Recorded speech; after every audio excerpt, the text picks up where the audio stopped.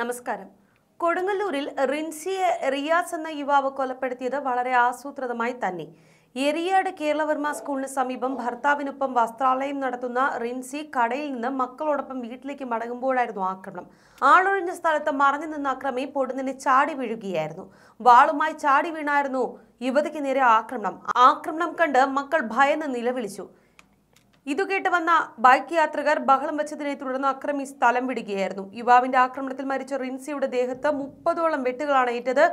വെട്ടേറ്റ് ഇവരുടെ കൈവിരലുകൾ അറ്റുപോയിട്ടുണ്ട്. വിരലുകൾ കവറിലാക്കിയാണ് ആശുപത്രിയിൽ എത്തിച്ചത് ഇന്ന് പുലർച്ചെയോടുകൂടിയാണ് യുവതി മരണത്തിന് കീഴടങ്ങിയത്. പ്രതി വെട്ടാൻ ഉപയോഗിച്ച വാൾ ഇന്ന് രാവിലെയോടുകൂടി കണ്ടെത്തിയിട്ടുണ്ട്. സംഭവ സ്ഥലത്ത് നിന്ന് പ്രതിയുടെ വീട്ടിലേക്ക് പോകുന്ന വഴിയിൽ നിന്നാണ് ആയുധം ലഭിച്ചത്. നാട്ടുകാർ കണ്ടെത്തി പോലീസിനെ വിവരം അറിയിക്കുകയായിരുന്നു.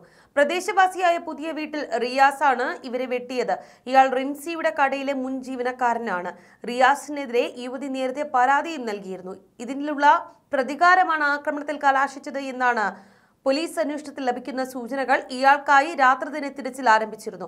മൊബൈൽ ഫോൺ വീട്ടിൽ ഉപേക്ഷിച്ചിട്ടാണ് ഇയാൾ രക്ഷപ്പെട്ടത്. പ്രതിക്കായി പോലീസ് അന്വേഷണം ഊർജിതമാക്കി നേരത്തെ ജോലിയിൽ നിന്നും പുറത്താക്കിയ റിയാസ് തന്നെ ജോലിയിൽ തിരിച്ചെടുക്കണമെന്ന് ആവശ്യപ്പെട്ട് റിൻസിയെ നിരന്തരം ശല്യപ്പെടുത്തിയിരുന്നു. എന്നാൽ തിരിച്ചെടുക്കാൻ റിൻസി തയ്യാറായില്ല. ഇതിനുള്ള വൈരാഗ്യത്തിലാണ് റിൻസിയെ കൊലപ്പെടുത്തിയത് എന്ന് പോലീസ് പറയുന്നു. റിൻസിയുടെ കുടുംബകാര്യങ്ങളിൽ ഇടപെടാൻ തുടങ്ങിയതിനെ തുടർന്നാണ് റിയാസിനെ ജോലിയിൽ നിന്ന് പുറത്താക്കിയത്. റിയാസിന്റെ മോശം പെരുമാറ്റവും പ്രശ്നങ്ങളിലേക്ക് കാര്യങ്ങൾ കൊണ്ടുചെന്നെത്തിച്ചു.